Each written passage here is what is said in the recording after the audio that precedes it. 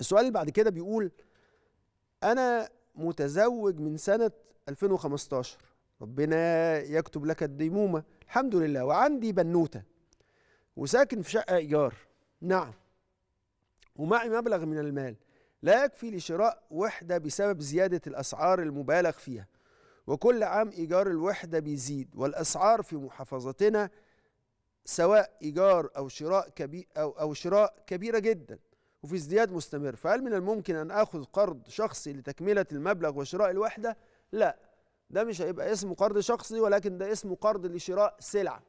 فده جزء من تمويل السلعة. فإذا أنت أخذت المال وضعت كل المال في شراء هذه الوحدة أو في إكمال مبلغ الوحدة فده تمويل لشراء الوحدة وده جائز وليس فيه حرمة وليس فيه شيء ممنوع. يبقى إذا خدت الفلوس من هنا حطيتها في شراء الوحدة ده جائز لأن هذا من قبيل التمويل. إحنا قلنا التمويل هيكون في ثلاث حاجات.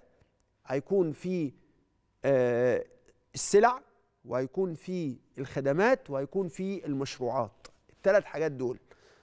فلذلك اللي انت بتقوله ده آه يجوز إن أنا آخد المبلغ من المال وأضعه كله فين؟